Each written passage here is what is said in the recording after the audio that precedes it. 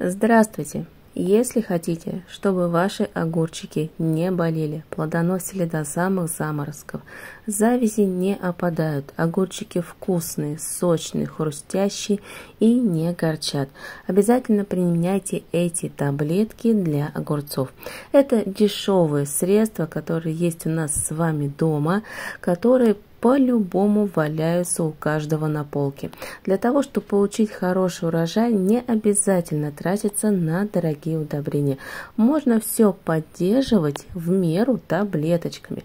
Таблеточки есть разные, есть очень мощные, классные, которые влияют на активный рост, именно на то, чтобы было крепкое здоровье у наших огурцов. Листики будут изумрудного цвета, а также не будут опадать завязи и завяжутся абсолютно все огурчики, даже при неблагоприятных условиях. Эти огурцы мы с вами выращивали на органических подкорках и пришло время просто их поддерживать. А для поддержания как раз я и применяю такие простые, дешевые аптечные таблетки, которые применяю уже не первый год, потому что мне нравится результаты я вижу. А если нет результата, то нужно применять что-то другое. Поэтому всегда смотрите, только ваши растения, потому что условия выращивания у нас с вами разные. У меня Кузбасс, Сибирь, погода просто непредсказуемая. И давайте приступим. Первая таблетка, которая нам с вами понадобится, это валидол.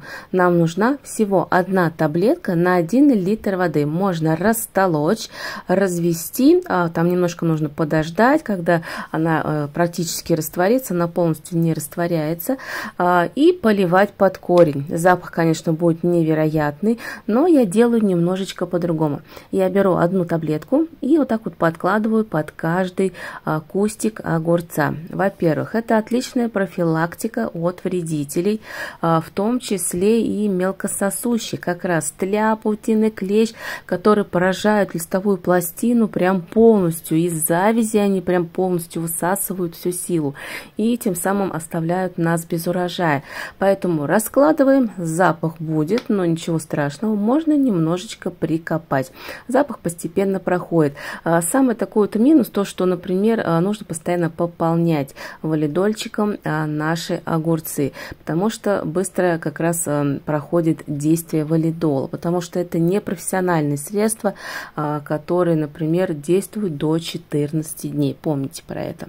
Следующая таблеточка, которую обязательно должна быть у каждого садовода-огородника, чтобы получить хороший, богатый урожай, это янтарная кислота. Янтарку я применяю постоянно на любой стадии вегетации. С помощью янтарки я даже восстанавливаю слабые, чахлые и чуть ли там не дохлые огурчики. Янтарная кислота у меня 400 мг, но на ранней стадии я всегда применяю 100 мг, то есть это 0,1 грамма. А в данном случае у меня 0,4 грамма. Я беру одну таблетку на 1 литр воды и поливаю под корень, а также опрыскиваю по листу тщательно, прям прохожусь. Во-первых, влияет на цветение, на здоровье, на иммунитет, а значит и э, не будет никаких вредителей, которые будут поражать именно чахлые растения, а они как раз и нападают на такие, э, такие вяленькие, дохленькие растения, которые без какой-либо защиты.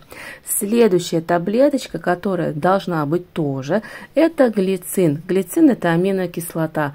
Мы все про нее все с вами знаем прекрасная аминокислота, которую можно добавлять даже в обычный стандартный биогумус. Одну таблеточку на литр, либо 10 таблеток на 10 литров воды и поливаем под корень в среднем по одному литру на кустик. Вот смотрите, у меня уже пачка практически пустая, потому что я применяю в огороде неоднократно. Вот за период выращивания с мая месяца у меня уже практически ушла пачка. Я чаще всего опрыскиваю с аминокислотой, потому что что через листовую пластину тоже все прекрасно проникает. Если таблеточек мало, то э, как раз универсальный способ это опрыскивание по листу. Одна таблетка на литр и опрыскиваемся тщательно. Следующая таблетка это аспаркам. Аспаркам можно э, прикопать рядом, можно развести в воде и поливать под корень, но он не растворяется там до конца. Э, в среднем там как раз получается одна таблетка на кустик. Если у вас кусты все вместе растут, берите берите до 5 таблеток как раз на 5 литров воды и поливайте сразу все кустики, если вы поливаете, допустим, с леечки. Если у вас лейка 10 литров, значит берем 10 таблеток. Сюда же можно еще отнести тоже как раз для здоровья хорошую таблетку, это кальция-глюконат. А кальций нужен на любой стадии. Ну, конечно, в таблетках он на небольшом, прям минимальном проценте, но если у вас есть просроченные, то не нужно ничего выкидывать. Просто тоже прикопайте в грунт, все постепенно там у нас будет разлагаться и поступать в корневую систему. Как раз на стадии, когда будет у нас влажность, сырость, кальций нам с вами пригодится. Также можно делать по листу обработки с глюконатом кальция. Одна таблетка на литр и опрыскиваем тщательно по листу. Следующая таблеточка это фурацилин. Фурацилин прекрасно помогает также для профилактики от болезней и от многих вредителей.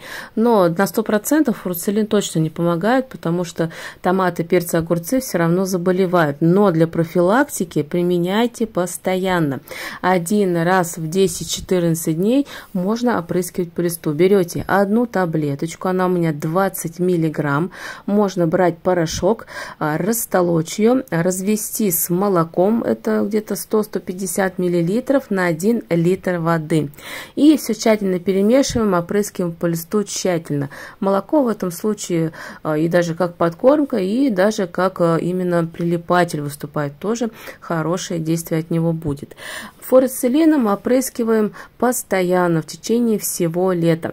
И вот смотрите, у меня вот такое большое количество различных таблеточек, применяю их с периодичностью. Делайте себе некие графики, это очень удобно. Вот сегодня с янтарной кислотой через какое-то время а, можно, например, кальций, аспаркам подложить в грунт, а, но по отдельности они применяются. А также можно использовать фурцилин через несколько дней, а, валидол от многих многих вредителей. Если у вас большое количество кустов, а уже профессиональных средств не хватает, то можно на некоторое время защититься как раз от болезней вредителей с помощью этих таблеточек. Ну а глицин, ну это просто аминокислота, которая является прекрасным тоже стимулятором, как и янтарка, которая спасает урожай при неблагоприятных условиях. Ну а на сегодня это все. Заходите ко мне на канал, пишите ваши комментарии, какими таблеточками, дешевыми средствами вы иногда подкармливаете ваши томаты, перцы, огурцы и другие культуры. А также пишите ваши способы, как вы выращиваете огурчики с посынкованием без и какие сорта. Всем спасибо и до новых встреч!